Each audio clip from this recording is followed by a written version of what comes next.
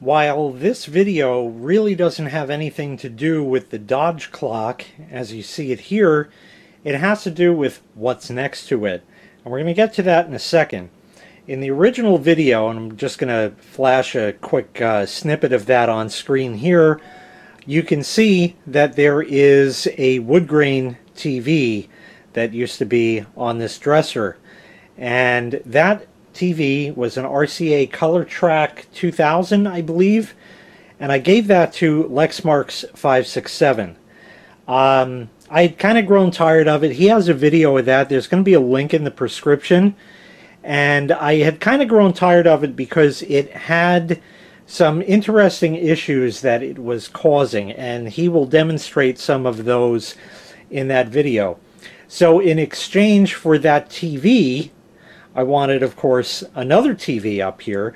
And I could go to Walmart and I could buy any sort of, you know, flat screen, piece of crap, Vizio, or any other brand, made up brand they have today. But instead, I decided to put something back in service that I purchased back in, oh, probably very, very, very early 2002 when the wife and I got our first apartment. Uh, I had purchased a Panasonic 27 inch CRT TV. This is the Panasonic CT-27D11E 27 inch CRT television. This was pretty much one of the good sets you could buy that were out there. I wanted a Panasonic, I knew that much, and it was 27 inch, and it wasn't the absolute top end set, but it was a good middle of the road set. It has all of the common features of the time, such as stereo sound. You can see the two speakers at the bottom there, front panel input jacks. Uh, it had an excellent picture and uh, a whole bunch of inputs and crap like that on the back. Uh, here is the label that was on the back of the set. And you can see it was purchased, I'm sorry, it was manufactured in December 2001. So here it is now. This TV was the TV we had in our basement apartment when we started out. And I had bought this brand new from The Wiz where I was working at the time. So yes, I did get an employee discount on it. Don't remember or have a clue what I paid for it. Not a clue in the world what it was. But it's here. And this TV I took, and I don't know how I did it, but we had just gotten the apartment. And the wife wasn't there, but I had a key to the place. And we had a TV stand, but no TV. And somehow, now bear in mind, 2002, at the time of recording, that was 20 years ago. So I was 23 years old, and I was absolutely invincible young, dumb, and full of cum, as the saying goes. I carried this TV by myself then because my back wasn't fucked up, and I carried it down the steps and set it up, and man, what a beautiful picture.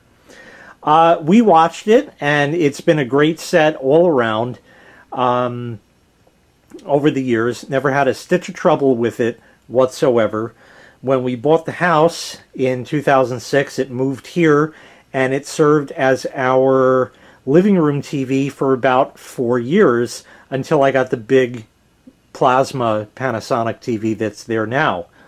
Uh, so anyhow, um, long and short of the story is it's your plain Jane, run-of-the-mill 27-inch CRT TV. It never had a lot of hours on it, so it's still a very, very low hour set. We didn't watch that much TV. We watched a lot more back in the apartment and some here, but nowadays, not so much. And this TV was decommissioned back in 2010 because I got the big screen TV for the uh, living room. And this went down to the basement and just sat there for 12 years. So Lexmark's 567 was over for the 4th of July, and we loaded up the RCA TV on a hand truck and somehow got it down from here and took it downstairs and loaded it in his car. And then we went down to the basement and put this guy on the hand truck. Almost lost it going up the steps, but we got it. Uh, got a little scuffed up here and there on it, but that's all right. It's otherwise just fine and, of course, survived all of the moves. So here it is. But before we get into that, I want to show you the back of the TV because it has a plethora of inputs that you might not expect. Uh, like I said, it did have standard features for the time. So it has the stereo speakers, front panel input jack.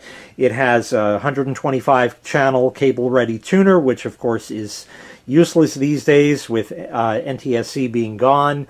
Um, it had auto clock set where I think it would uh, use the signal from the local PBS station, if I'm not incorrect on that, and it would somehow gather the time and, and date from that and would automatically set it. That's all gone also. Can't do that anymore because, again, that's all done. But in the standard NTSC mode, you do have a couple of options for sound as well, such as SAP for second audio program or supplementary audio program or whatever they want to call it these days. Uh, of course, stereo and mono as well. But this TV has on the front, as you can see, RCA jacks. There also is a headphone jack to the left of that. That's why the opening for the um, RCA jacks is a little bit wider than the jacks themselves. So it has uh, a headphone jack on the front, which is an interesting touch, something you wouldn't really expect much out of a 27 inch TV being so big.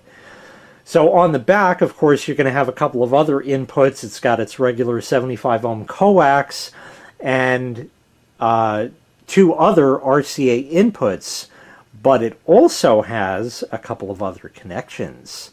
So I'm going to grab the phone and record with that. It's just easier to get back there so I can show you. So here's all the connections on the back. So trying to remember what everything is, and I'll try to get the camera in here a little more. There's kind of a knackered looking coax wire. It's just one I had that I grabbed. And yes, I do have coax running into it um, because channel 3 and the cable box still has that. The white and red, as you see here, is audio out. And then you will see an S-video connection, which you might expect.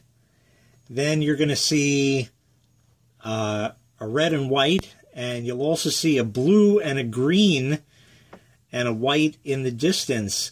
That's correct. This TV also had a component input back in 2001 for component hookup, and that uses five wires, as you can see right over here in this converter box, red, blue, green, white, red, as you see from right to left there, there's some dust on it. This here is the EZ-Cell HDMI to component converter. Why you would ever, ever want such a device, I don't know, but China makes it. And it doesn't have a green clean light, it has a dead red light. I, I don't know. Takes a 5 volt input HDMI. Yes, it's upside down, and there is a button there that uh, you can press to allow it to synchronize to the various modes within. And what is here that is hooked up HDMI? Well, if we come over this way, there's the rest of the HDMI cable, the battery for the Dodge clock, and below that is one of these Android TV boxes. And if I come around here, the flash is kind of washing it out, but I don't have any other light here. You can see that it has a little clock on the display there.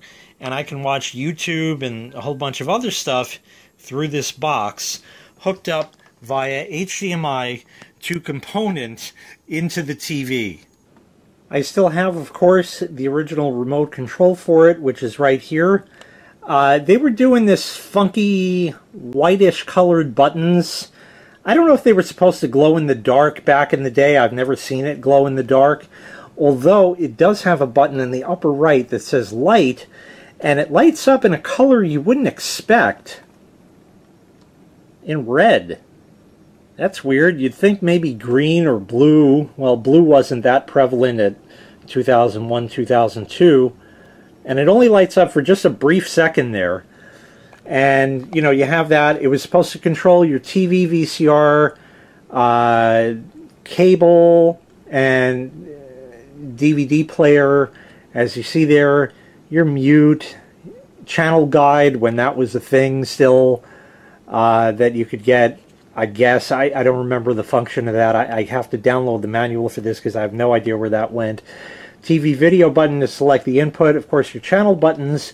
The Panasonic R-Tune button, which will go to the previous channel and then recall. I forget the difference. And then some VCR controls there. So I think it's finally high time that we go ahead and turn the TV on.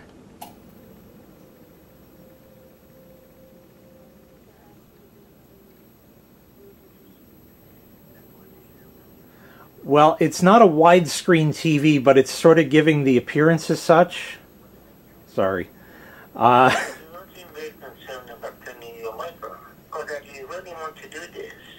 I am, and I've been working hard already. Well, I hope that's true. But so anyway, it has an awesome picture on it. Let's go to, I need the other remote for the cable box. I haven't programmed it in this thing because, like I said, I don't have the manual yet. Uh, the local news, which sucks now that I don't watch, but we'll put it on. And of course, they're showing nothing in particular. 305 million in cash. The jackpot grand prize. Blah blah blah blah blah. You know, channel two is a definite HD channel.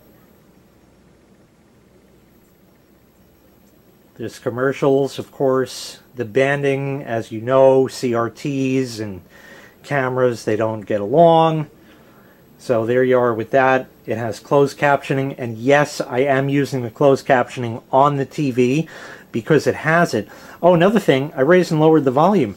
You see the on-screen volume control, and you think, well, all TVs have that. You know what? This is the first ever bedroom TV, bedroom TV that I have had in my 43 years on this planet that has an on-screen volume display. I shit you not. That's the kind of old sets I've been running. I have a set in the basement, which eventually I'll make a video on. I, I don't even remember the brand offhand. And that does have on-screen display, but does not have an on-screen display for the volume. It'll show you the channel. It'll say mute, I think, if it's muted, and a couple of other things like an on-screen menu in that, but it does not show the volume, which is quite interesting with it. Anyway, like I said, this is an extraordinarily low hour set, so the picture is absolutely gorgeous on it. I'm sorry about the reflection in the window over there, but everything is still good. I don't know what the green fringing on her hair is, but this is, however, on the coax input. So we're going to go ahead and change that. Now, the cable box I could have hooked up HDMI and put that into the converter box, but instead I chose to put the Android TV box in there uh, because I tend to watch that a lot more than regular TV. So what we're seeing here is just plain old uh, Channel 3 uh, NTSC, and that actually before we go and change that, I'm going to go into the menu. Here's the on-screen menu. You have picture, audio, timer, channels lock, and setup. We'll go through everything quick. Picture, you have your color tint, brightness, picture sharpness. Normal would make it go back to uh, the default settings, and I've changed that. You have your color temperature, which you can change, warm, normal, or cool. It's sort of a busy picture, but you could see in that one. You can see right there how it changes. So normal is fine. And then we'll go to audio. And here is your stereo, SAP, or mono, your bass treble, balance. Uh, normal, of course, would set it back to that. AI sound it has, which is a feature that will lower the volume of commercials. Somehow it knew how to do that back in the day, yet it only works over the coax input and not through any of the other inputs on it. It has a fake surround sound mode, which is on now, makes it sound a lot better. Um,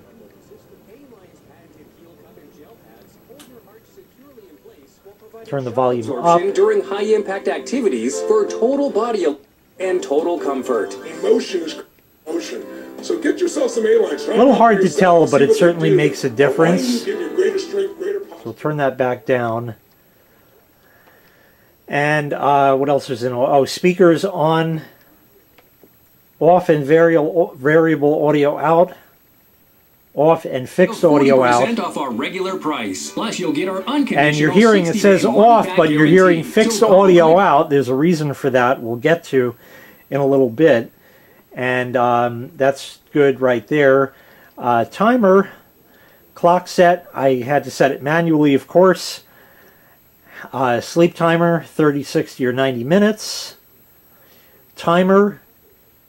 You have two timers you can set to turn on and off at a particular time and particular channel, particular day. So that's kind of nifty. Uh, channels.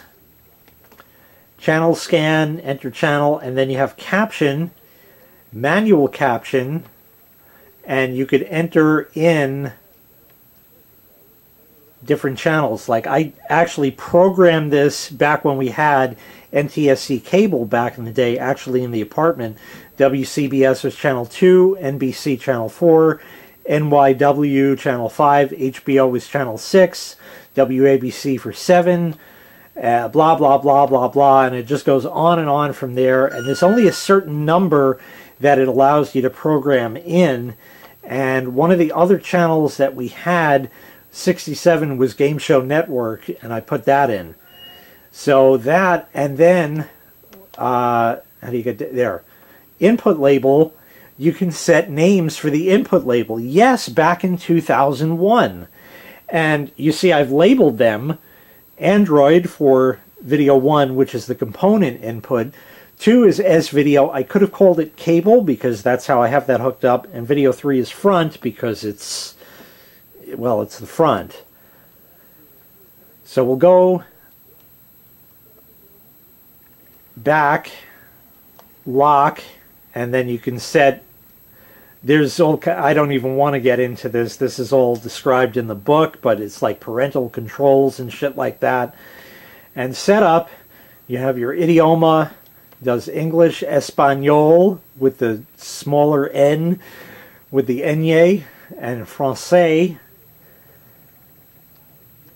Program channel, you have TV, TV or cable, closed caption and you have your options for all of that.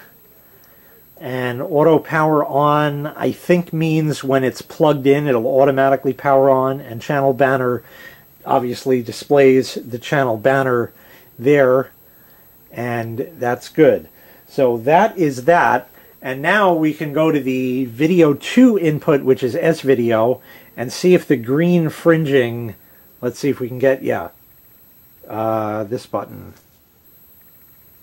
it's definitely less, and the picture indeed is sharper over S video as you might expect. So back to that and S video. So standard S video. So that's all there. And then video 3 is the front input as you see there. The rating, I forget what that was up there. And input, it says comp, period. Before, without the label, it would say component, but it said Android. I got to run through them one more time to get back there. I went right past it. Comp Android, the rating again, I don't know what that does. And that is the Android TV box, which I can wake up and these are some of my recent videos. Let's see if there's any new. No, I knew about all these and that. So that is that, and we're going to get into one of my videos in just a moment after I change the battery on the camera. Now, some of you may be saying, well, why did you go and hook up the Android TV box via HDMI? The cable box should be hooked up HDMI and well, as you saw with that converter, there's only that one input on it. And then, of course, there's going to be some smartasses out there that are going to say, well, you can get an HDMI switch box. You're absolutely right. As a matter of fact, I have two of them, and they're in place in other locations within the house. So I don't have a third one. And while I could get one for this to hook up the cable box that I rarely watch, it's also going to add another fucking remote. And it's already enough with shuffling, you know, three, four remotes that that's bullshit. So I, you know, like I said, I don't watch it that much to warrant it, and S video is just fine. Fortunately, I had S video and the component cables, as you saw before. I actually have a nice set of those, but I think they're on the big screen in the living room um, because uh, that's where you know the best stuff is. Uh, these I happen to find in my stash. I didn't even know I had these cables that were blue, white, and green, uh, blue, red, and green, or whatever freaking colors they are. I can't even remember anymore. Yeah, blue, blue, red, and green, YPbPr, one of those type sort of kind of things. On the old RCA TV that was here, uh, it definitely worked, and pretty much, as you see, you can read the text on the screen. Even the small text um, with the RCA TV, it didn't have any such input besides composite. And as such, the best I could hook up this box with was composite. And in fact, it offers a composite output. I'm going to try right now to get a composite cable and jack that in the front and see if I can make it work. I can't promise it, but I'll give it a shot. So I was able to get it hooked up. Here is the component input. And here's the composite.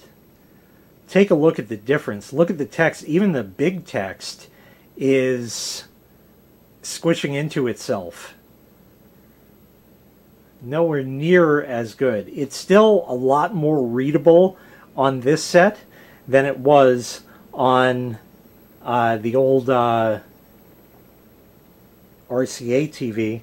And another interesting thing I want to point out that is something I've seen before, and I don't know why, uh, is if I turn here and zoom in, you see that little cutout with a couple pixels in there? And it's on the other side as well. It's just something it has and I, like I said, I've seen that before, and I don't know exactly why or or how or what any of that is, why it does that, anything. Um, so anyway, let's go back to the component input, which is here, and we'll watch the BNT security lockbox mounting. See, there's a there's an ad. Maybe I'll turn the volume up a bit. Introducing the door stud. Another ad. It's just something you got to deal with, you know. All the wildlife, ladies and gentlemen. The wildlife. Look at that. A frontal. And we'll skip into the garage here. So there's still a way in. But if I leave through the garage, That is lock that absolutely door, awesome picture quality. And if I switch to the composite, I don't have the sound hooked up. It's there, but it's nowhere near as good. The color looks a bit more vibrant, oddly enough, on the composite. And that's the component. But it's still excellent and much, much sharper. I'll gladly give up a little bit lower color for, uh, you know, much a much clearer picture than that. So that's all fine and good. And there's one more thing that happened. Let me uh, turn the volume up for a second. Take a listen. Well, actually, wait. Hang on a second. little lever there. And now we're going to set this to one, two, three, four, like that. Move the little lever back. So that's the sound out of it. And that is one thing that I'm telling you sucks about this TV compared to the RCA. Now, it's got stereo speakers, no problem. That's just the composite I jacked in the front. I didn't bother with the audio because whatever. Uh, anyways, it sounds, this TV sounds so flat. So flat, which is odd because it's not a flat screen TV. A flat screen TV, you're going to get flat sound out of. I mean, they flatten the whole thing. My dad bought a 27 inch Sony Trinitron back in, I'm going to say 1995. Uh, that had speakers on the sides. I actually still have them, and they sound like a decent enough set of like computer speakers. Uh, they were really good. The sound was really good out of that. But on this, with just the speakers that are there, it sounds flat. The RCA had speakers on the sides, and they were big. And I never made a video of that TV, and I'm going to tell you why. The reason why is because of Susan. I used to have a DVD player up here with a CD, I guess, that had a whole bunch of MP3s on it. You know, like actual real music. And I was going to do some samples because back before Susan, we could have 30 seconds of audio. So I'd give you maybe, oh, I don't know, four or five songs so you could hear how good that RCA set actually sounded. Except Susan came in and seven seconds ain't to really cut it other than, look, the sound works it's copyright free music, and yeah, I'm to give you a sample of that in a minute. But the sound on this thing irked me so bad that I had to do something. I don't think the camera's really focusing on that too well at all. But on top, as you see, there is a sound bar. In fact, this is the Jacria soundbar. Both this and that EZ-Cell HDMI to component converter, the videos never have debuted as of the recording of this video just yet. Uh, this TV has audio out, so I said, yeah, why not? Now, of course, that's got a 3.5 millimeter plug, and yes, the TV does have a headphone jack in the front. When you plug that in, it disables the onboard speakers and I want to use the audio out, so I had to use a converter and blah, blah, blah, plug it all in. And here it is up here. This has a little blue light. I don't know if it can even be made out on camera right up there. You don't even notice it. This one is a lot more in the way. Uh, that's powered via USB. Well, isn't that just fucking handy that the cable box below it in fact, it's even got another USB port right there. It's got one on the back, so I just robbed power from the cable box to run the soundbar. So now, if I play the video, let me reconfigure the camera. There it is. Scramble it by two. Won't open. And back to one, two, three, four. And it opens. So good. So I was going to take this and I was going to mount it up on the wall, kind of where the, the light switch is by the garage door. So now it sounds a lot better. Now, the sound bar that's on top of this thing is meant for a computer, uh, obviously, and not for a TV. That's not to say it can't be used for one, because I did it. Uh, in fact, I have a nice soundbar, really nice one, and then another one which I don't remember if that video has been released just yet as of the recording of this video. By the time this is out, that of course will have seen the light of day. So I have two soundbars. There's actually supposed to be a third on the way from China, but the deal fell through the first time. And uh, I keep emailing them, where is it, where is it, what's going on? Okay, we're so sorry, we send out another. That hasn't shown either, and they don't have tracking information, so I have a feeling that that one isn't going to show. So I have this one, but in the future that may change. And of course, that's kind of a pain in the ass because this is a CRT and that's the only place I had for a soundbar. And yeah, so it just makes it fun like that. Uh, I'm going to go and uh, call up another video here. Yes, I use that very old term, call up. Another video here that is really just for the audio, just to give you a sample, because now with the soundbar, you have sound on top of the TV and below the TV where the actual speakers are. So it sounds a hell of a lot better now. Uh, it's by no means anything even good, and it still doesn't scratch the surface of how good that RCA set sounded, but it's a lot better, and for the bedroom, it's more than perfectly fine. I'm just absolutely fucking jazzed to have this TV up here because I remember how good the picture quality of it was and how many low, you know, how low hour it really is. It's actually, this is the most used TV in the house, this bedroom TV, believe it or not. Uh, so that RCA had countless hours on it. Uh, this one uh, is going to start getting up there in hours, but hey, I paid a few hundred dollars for this, definitely brand new. So without a question, I want to get my money's worth, and I'm really happy that it still works after all this time just perfectly. So let's get that video so you can hear the sound quality. All right, here we go.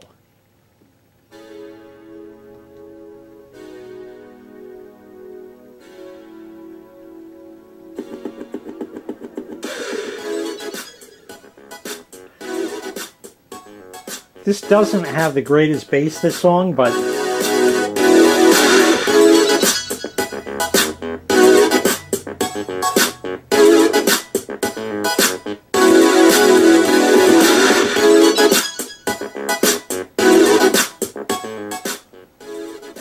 know as such it does sound kind of tinny and that but that's kind of more this song. Let me see if i can find something else.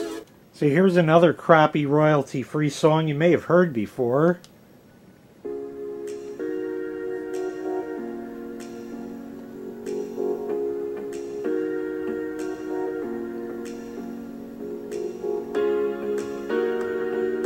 I haven't found anything that's real bass heavy maybe the bass will get pumping in a minute in the song. I don't know. Not much, but...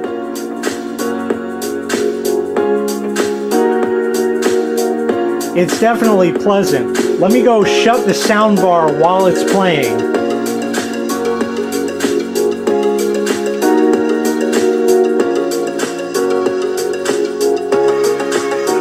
Not so good, Al.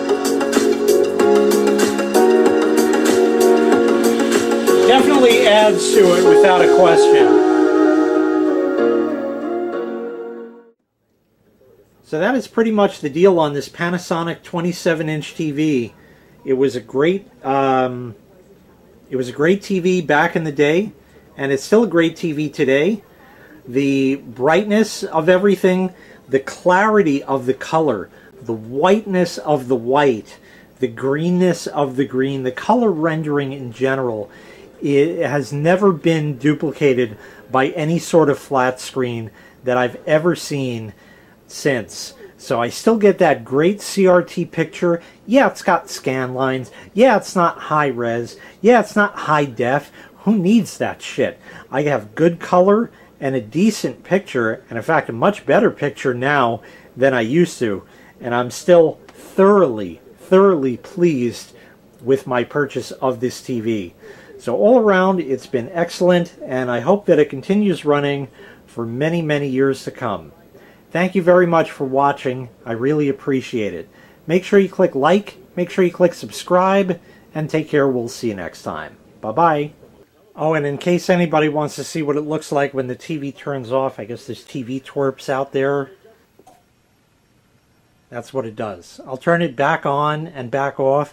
Oh, and by the way, if you complained about the whine of the TV, when you get to be my age, actually when you get to be well before my age, you can't hear it anymore. So if you got a problem with it, you're too sensitive, just wait till you fucking get old. Watch the video again, you won't hear it.